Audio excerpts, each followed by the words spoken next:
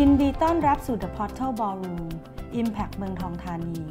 สถานที่ซึ่งได้รับมาตรฐานระบบการจัดการด้านการรักษาความปลอดภัยสำหรับการจัดประชุมสัมมนาและนิทรรศการ The Portal Ballroom มีประตูทางออกฉุกเฉินทั้งหมด 2 เส้นทาง พร้อมด้วยอุปกรณ์ความปลอดภัยในตำแหน่งต่างๆ วิธีปฏิบัติกรณีเกิดเหตุฉุกเฉิน เมื่อเกิดเหตุฉุกเฉิน ท่านจะได้ยินสัญญาณเตือนภัย กรุณาสังเกตสัญลักษณ์ทางออกฉุกเฉินที่อยู่ใกล้ตัวท่านมากที่สุด และอพยพออกสู่ภายนอกอาคาร ระบบดับเพลิงอัตโนมัติจะทำงาน หากมีกลุ่มควันจำนวนมาก กรุณาก้มตัวให้อยู่ในระดับต่ำและตรงไปยังประตูทางออกฉุกเฉิน หลีกเลี่ยงการเบียดเสียดขณะออกจากทางเดียวกัน เส้นทางอพยพด้านหน้าของห้อง เพื่อลงบันไดหนีไฟไปสู่ชั้นหนึ่งเส้นทางอพยพด้านหลังของห้อง เพื่อลงบันไดหนีไฟไปสู่ชั้นหนึ่ง เส้นทางอพยพจากบันไดหนีไฟชั้นหนึ่งออกสู่ภายนอกอาคาร